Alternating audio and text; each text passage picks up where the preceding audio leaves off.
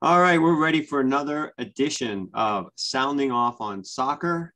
With me is Mark Goodman, the soccer rabbi. Mark, hope you're feeling okay there. Get through a, a podcast today. Uh, I know it, it, not everybody's been feeling 100%. Uh, we had counting on Jordan Smith to join us, and he wasn't feeling too good tonight. So it's just you and me.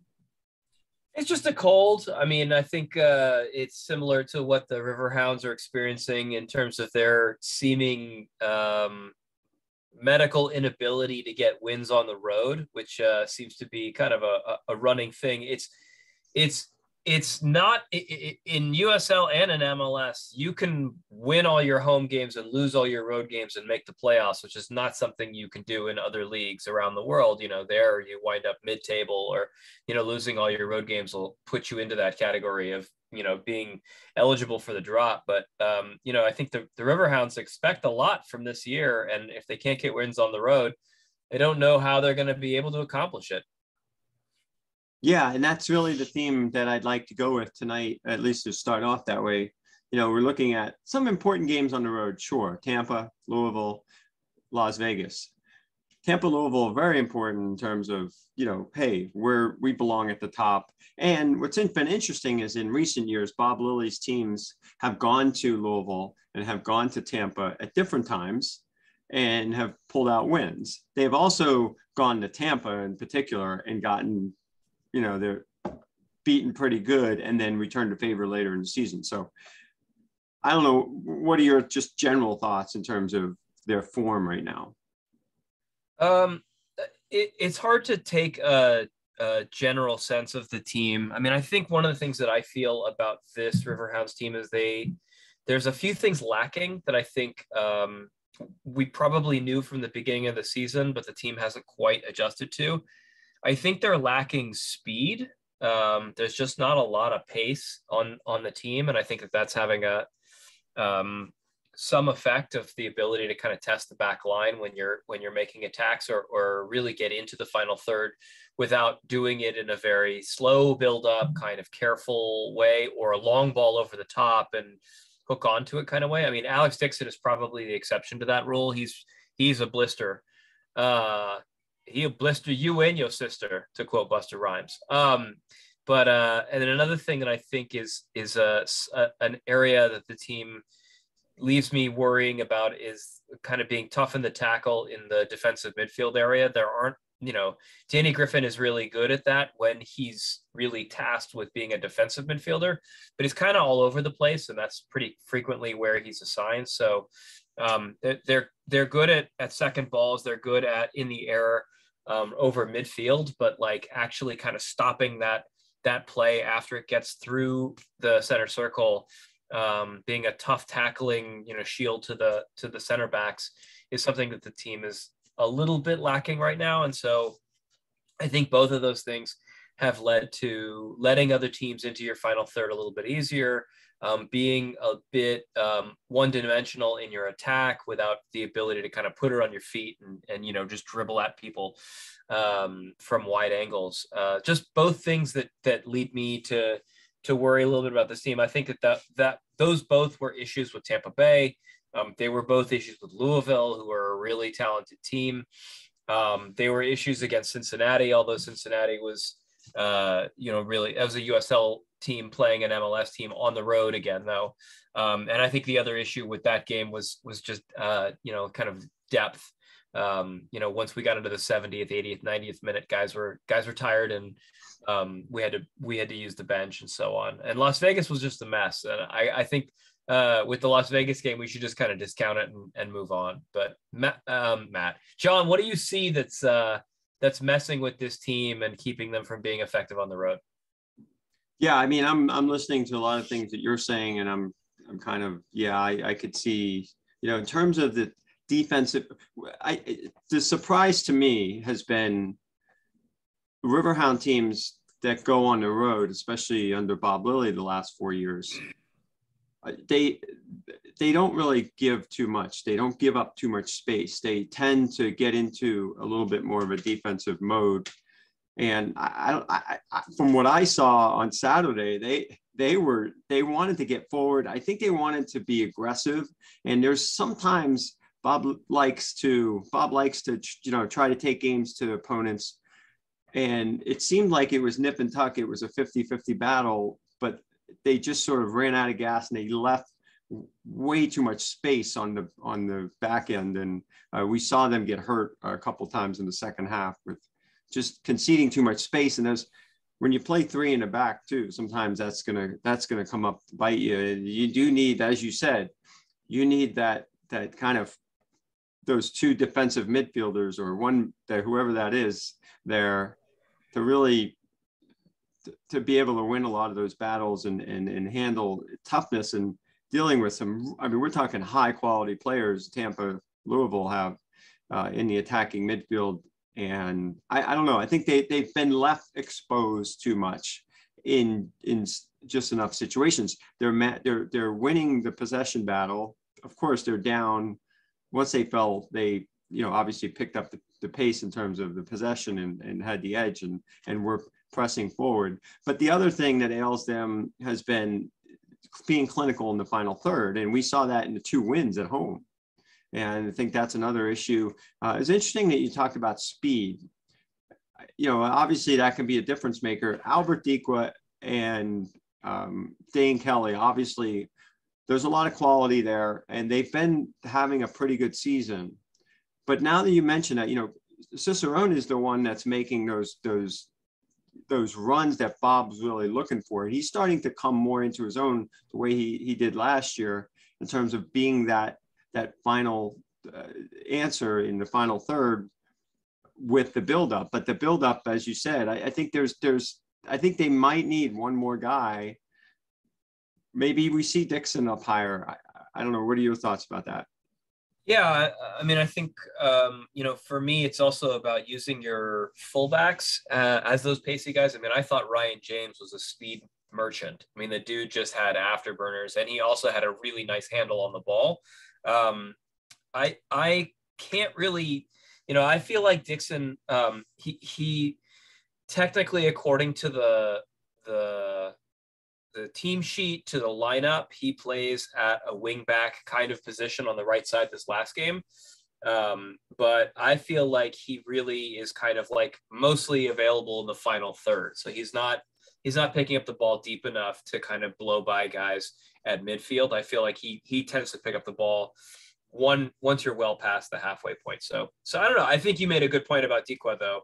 Um, I just feel like Dikwa plays up so high that his speed is only an asset in like a like a 10 meter burst at the at the very end. So but the the quality in the in the final third piece, the finishing is always a concern.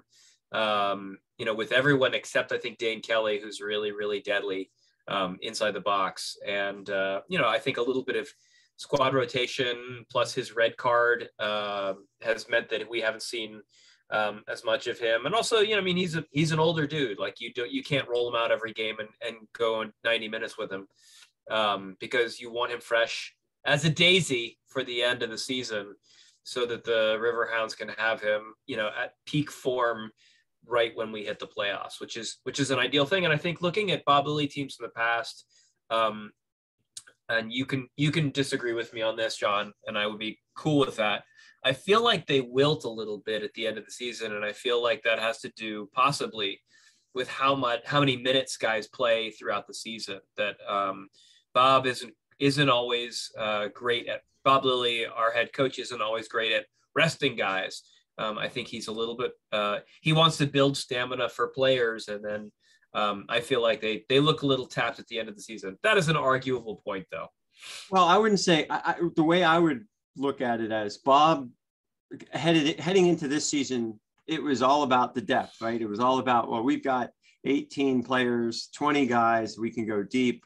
We're going to have a lot of squad rotation this year. And then as the season goes on, I wonder to to to your to your point, I wonder how much of Bob loses.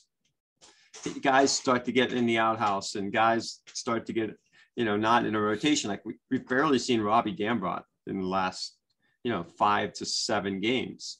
We've, you know, we see guys kind of fall out of favor, kind of come and go, and not be as steady of a you know, a squad rotation. And I'm wondering that, you know, that is that an issue? Do are there is there some fatigue in terms of certain players that just kind of fall out of favor and, and who knows why and what, but um, I'm sure the, the, the team uh, chemistry and cohesiveness though, I, I think at least I sense I've been to a few, you know, training sessions in the past month or so, and I sense a, a pretty, a lot of a pretty good chemistry with this group.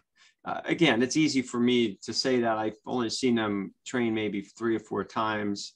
Uh, we kind of get a little bit of a feel for their locker room and for you know what they're like around each other here and there at some home games, um, maybe even after the games when we see them all hanging out and stuff like that. But I, I think that is important, and I think that is something that this team, you know, with leadership and because they're they're on the threshold, but they need to get to that next level. And are they really? Where are they? Where are they in terms of that cohesion and guys willing to play a lesser role to win a title or win be part of something special. I'm wondering about that. I'm wondering about, you know, Dikwa or even Dane Kelly, like you said, knowing his age, maybe his different, he's not going to be rolled out from the starting lineup every time.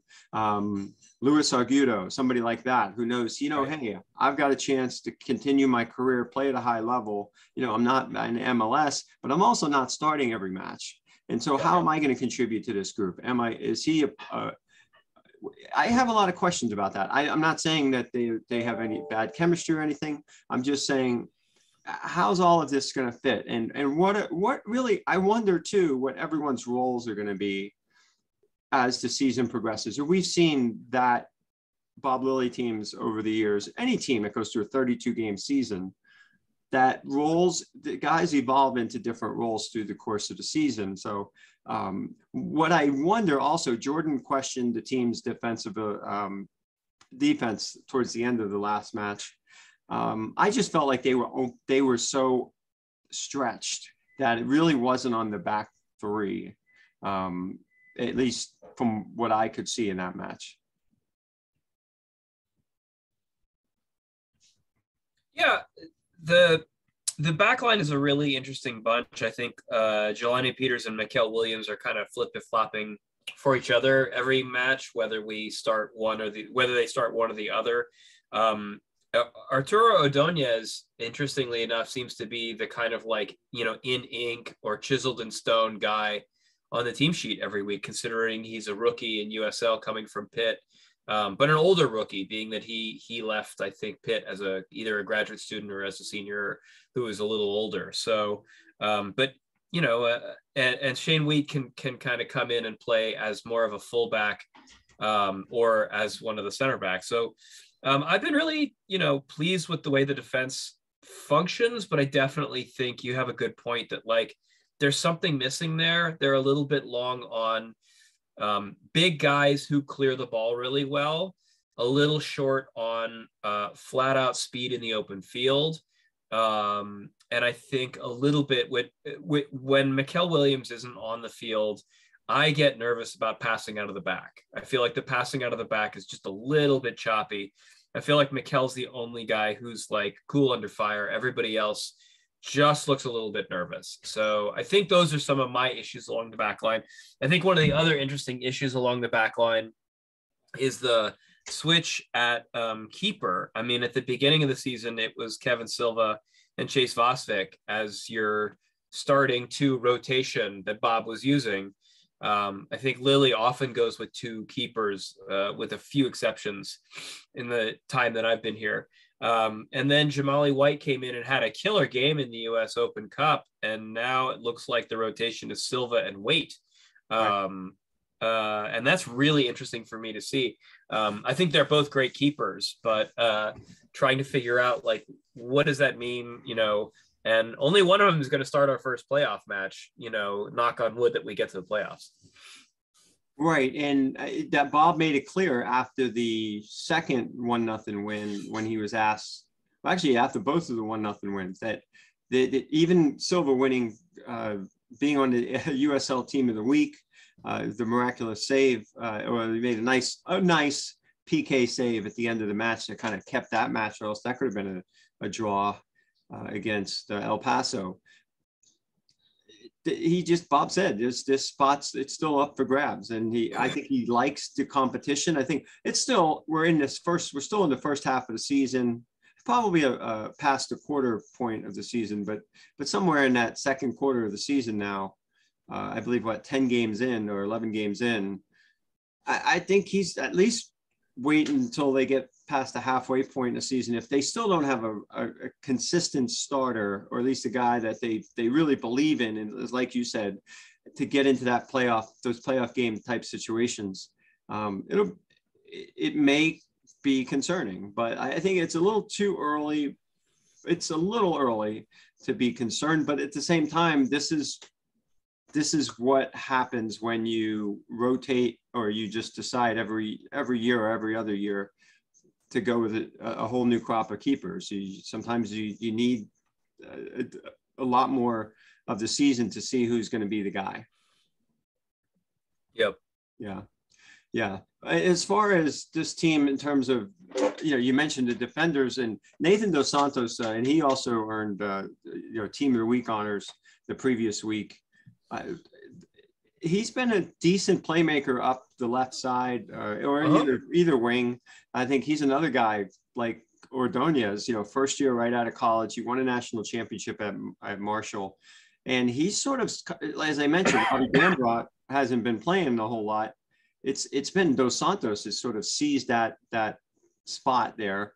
Um, maybe not quite a Ryan James, but I think he's he's been he's shown signs that he could be an excellent player at this level. Yeah, I I uh when I was working the game, uh, the home game two weeks ago, I was uh, definitely I was on the coach's side uh, for the second half when um, players went in and Robbie Dambrot went in and Bob was just chewing his ear off from the beginning of his stepping onto the pitch till the end. He was just, you know, Robbie, you're too high. Robbie, you need to get there. Robbie, you know, where are you? Robbie, why aren't you filling in that spot? And he was really giving it to him. So you were mentioning that a guy was in the outhouse. Uh, I believe the expression is actually the doghouse, but doghouse, outhouse, Robbie Dambrot is in it. Um, he just hasn't established himself as a player who knows what the coach wants and fills in the spot in the right place. I will say that um, on the first goal that Jake LaCava scored, I think Nathan Dos Santos was probably responsible, although he basically fielded the ball off his chest and then he kind of like didn't field it cleanly and then he fell down and LaCava put it in the back of the net. Whether that was like, you know, his fault, quote unquote, or whether it was really, you know, a failure on the other side to close down the high looping cross that came in is another question. But um, I'm with you. I think Nathan Dos Santos has been a very good player. Um, one of the challenges in USL, of course, is if they were exceptional players who were flawless, who did every piece of the game really well, they'd be in MLS, right? Like one of the things that's interesting about USL is guys are always kind of missing one or two or three things. Like there's there's a couple things they're really good at, a couple things they they tend to be average or so-so at. And um, for for Dos Santos, it, it might be kind of like being clinical and clean um, on that first touch on a play like that, where you kind of settle that ball and clear it, um, or you have real awareness of, of situational awareness of what you need to do at any given moment. Um, that that could be a thing that uh, all the all the hounds need to work on in order to get this team to start performing better on the road, or it could be small sample size. I mean, they had a couple wins on the road to start the season. Um, over Memphis, and uh, I forget who the other one was.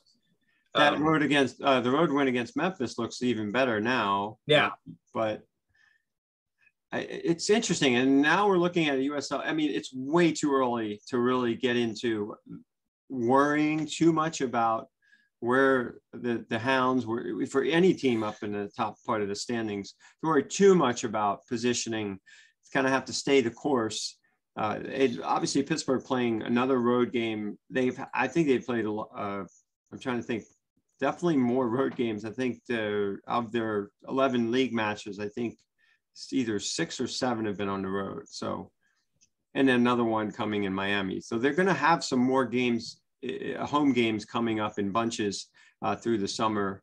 as the weather gets warmer and hopefully more fans start to fill in at Highmark Stadium.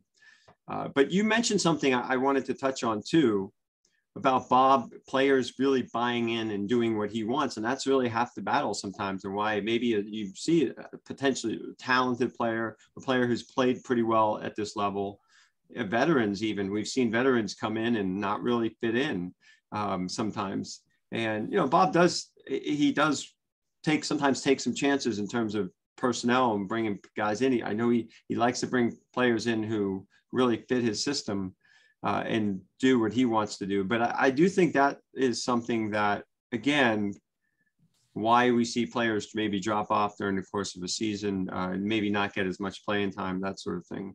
Um, is there anybody else out there, uh, you know, on the roster that you just feel like you haven't seen enough of yet? I mean, I know the Luke Biasi and Mark Ibarra have, you know, they've, they've kind of seen some time here and there. Uh, they've, they've, they've had some decent moments and then there's you know other a few other players out there we haven't seen a whole lot of. Well, I talked to William Yang uh, last week. He was not dressed for the match. Mm-hmm. Um, he's apparently been dealing with a hamstring issue. Really nice guy. I really enjoyed talking to him. Um, so clearly, he I don't think he has a single minute this year. Um, Luis Argudo has been kind of a squad player. He's been rotated in and out, and he's been really, really exceptional in the matches that he's been in. Um, and other than that, I think uh, we're all kind of waiting to see kind of youngster Jesse Williams get a little bit more time. He's only played in one match for this team too. Um, kind of one of those uh, the triumvirate on the team of of Trinidad and Tobago players. But um, you know, I think uh, Yang would be the one I'm most looking forward to. But it, you know, he is stacked deep at forward. Although Cicerone you know, sometimes plays it forward, sometimes plays it midfield, although he's listed as a forward. Um, Argudo has the same kind of ability that he can be your number 10 or he can he can play to lead the line. But um, so you know, for me, it's like if Yang was good enough to get onto the field, where would you even play him if you wanted to? Um, you know, and I think one of the challenges that that Bob Lilley, yeah, that Bob Lilley has is just trying to figure out what what the what the formation should be when you have a lot of talented guys like they do. Well, I think Yang, um, Yang, uh, I believe is the correct pronunciation. Uh, uh, Mac Rubber corrected me, believe me. Um, I believe he's kind of that third wheel in terms of the the Kelly Dikwa rotation target forward, kind of a big body who can you know hold the ball up. I'm I don't I haven't really seen him kind of getting forward and breakaway speed. Trying, I've seen him play. Uh, he has, I think he's played. Uh, he played in the Open Cup match. Maybe one came off the bench in one other match. I think that's about it. But yeah, the other name, and you mentioned something earlier that was very interesting. You mentioned that that defensive midfielders being able to kind of just kind of be that uh, solid one-on-one defender. And Angelo Kelly Rosales, who played a lot of minutes for Charleston last year, and has right. played a lot of minutes in the USL. Uh, he's been really a, a, a, late game sub off the bench in just about all of his appearances this year. Uh, just that he's he fits that mold. I mean, of all the players, if you looked at up and down the roster, 20 plus player uh, field players, Angelo yeah, yeah. Kelly Rosales is the guy that could come in and be that.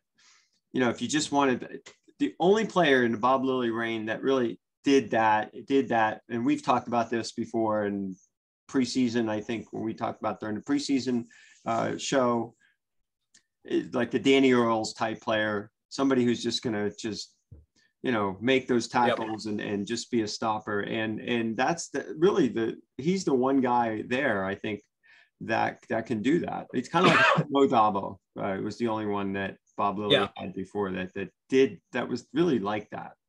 Yeah, and if you look at that third goal that uh, Lucky Mkosana scored against us in this match, which was a, a fluky little, you know, you know, high ball from the keeper that bounced through, but then um, Kenardo Forbes, who is usually a, a fine defender but not an exceptional defender, he really just he really made a meal of that. He really made a mess of, of that situation. You would think that a guy like Kelly Rosales would not allow a moment like that. And I had to look it up to see when the last time he started. And I was like, oh, he got 90 minutes. uh, back in October when he was still playing for Charleston. Yep. Um, so he hasn't started a single match, which is interesting that uh, Lilley has just decided that that kind of like shield over the the the back line is not a thing that he likes playing anymore. He just he he wants to have you know we well, joke about we joke about lily ball lily ball right. being uh, grinded out one to nothing with a lot of defense and he doesn't really play that anymore he's really oh. trying to put forward a lot of offensive players there's at least seven guys who are ready to get up the field and you know he's not, he's not really using a pure defensive midfielder anymore and that was clearly the case in the three to one loss to Tampa the other day. It was clearly the case. They were they were I mean they were just stretched out. Yeah. They were trying to play that way, and I don't know. It's just leaving. What you have three players. You have Danny Griffin, uh, maybe Danny Rivera, Kenardo Forbes. Um, really, I mean, all terrific players, and they really work well together in the central midfield when things are clicking and going well. But when when I mean, do you do you trust any one of those to to make a stop if there's you know one dangerous attacking midfielder coming their way um, in a, in a one-on-one situation in an open field situation? Yeah, I mean, I, I like Danny Rivera in that role, but I saw him doing it at the beginning of the year. But he hasn't started most of the games this year. You know, it's been a it's been a mostly offensive rotation of midfielders. So, you know, that's how Bob wants to play. You know, we'll we'll we'll see how it it, it comes together. Uh, it's it's entertaining. There's no doubt about that. You know, there's a lot of it. There's a lot of action on the field this this year, and um, it's it's led to some high scoring games, which. Uh, you can't really mind except that uh, you know at somewhere down the line you want to you want to make sure that you can i mean i think the, the question for the riverhounds is of course kind of like where do we finish in the table? Um, and do we finish in a position to have a home playoff game? I think that's probably we're getting ahead of ourselves john. We're getting ahead of ourselves but we really should. That's really what hounds fans are thinking about. We assume we're going to make the playoffs which is a great great place to be um, but we assume that the Riverhounds, uh, we don't assume that the Riverhounds are going to give their fans a home playoff game, and that's so so important because it's been a couple of years now. It certainly has. So I think the fans really want to see it badly. We've talked about it a lot. We talked about it last year. We talked about it in the offseason. That is definitely a goal for this for this franchise for this club. Um, so long way to go. I think they're in okay position, but they've really got to, as you talked about in your preview ahead of the Tampa match, they they probably have underachieved to this point this season. A little bit. I mean, I think um, it's a really talented team um, trying to figure out where the holes are. We both have opinions about the little holes, but you look at the raw talent. Well, if you go back into uh, for those of our hardcore fans for sounding off on soccer, want to go back in the sounding off on soccer archives and hear about our preseason talk. We just thought this team was loaded with loaded for bear with talent, and now it's kind of figuring out like, well, if they got so many good guys, how come they're not getting better results? And I feel like we're we're at that point where we can ask that question legitimately, and within the next six to eight games is when we go from saying like, how come they how come they got so many good guys and they're not getting results. And then six to eight games from now, we can start to say like maybe they don't have so many good guys. Maybe maybe they've got a lot of guys who used to be good, and uh, their the expiration date in the USL has uh, has turned from milk to yogurt. You know. That's a certain possibility, especially in a 32 game season. Three very important players over the age of 30. So that's definitely an issue. So they're heading to Miami next. Um, start queuing the uh, Miami um, uh, preparations. Uh, Mark, I know you'll probably provide a, another outstanding scouting report. We always look forward to those. Um, before you do that, just any initial thoughts on what we might want might expect from Miami. I know all four games last year were, were pretty hard fought and they were really a thorn in the hound side last year. I mean, they're always a fun team. Their ownership really cares about getting it right, and I think that that's that usually leads to some really interesting players on the um, on the team sheet. Um, you know, I I I would be remiss if I didn't make a Paco Craig, um, Karma Chameleon. Uh, his father was the bassist for um, uh, what you call for Boy George reference. So, um, you know, Paco Craig, he's back with Miami FC. You come, you go, you come and you go. Um, and Devon Speedy Williams is with this team too, and he's just absolute chaos and so much trouble. Um, so it's a it's a it's a very um, kind of experienced USL roster full of like names that we know and guys that are tough to play against, and um, it should be a, a really fun game. Um, you know, Miami tends to be physical uh, a little bit and tends to be fast. Um, I look at this roster and it looks less fast than it used to be. Uh, Adonijah Reid is is is a burner though, and so is Bolu Bolu Akinyode. So um, it could be really. I mean this this this roster is just long on Jamaicans. So that's so that's also something interesting that I just noticed right now. Um, so it should be a lot of fun. And um, John, the Hounds have been down there the whole time. Did they stay in in Florida for a week? They didn't come back. Is that right? No, they came back. As far as oh I wow, know. Bob even said that. So yeah, I um, they they they came back. It was interesting. I maybe a West Coast trip they stay, but I guess uh, frequent Yeah. flyer miles are, are okay in the uh, in with Tuffy bucks, I guess. Cheap cheaper than a hotel stay if you fly on like Ryanair or something like that. Absolutely. Yeah, it's true. All right. Well, Mark, thank you for uh, joining us on this latest uh, edition of Sounding Off on Soccer. Um, we are excited that not only will this edition be available on Pittsburgh Sports Live, but we are going to be uh, also, you can hear this on different, uh, well, if you're listening now, you're obviously hearing it on the different formats, but we are excited that we have been added to some different podcast formats on Spotify and Apple and, and some other platforms. So uh, we are excited about that. Uh, Mark, again, thank you for joining me and I hope you do feel uh, even better tomorrow. Yeah, if not, Sudafed is my friend. All right. Well, cheers to that and have a good night's sleep. Uh, I'm sure the Sudafed will help.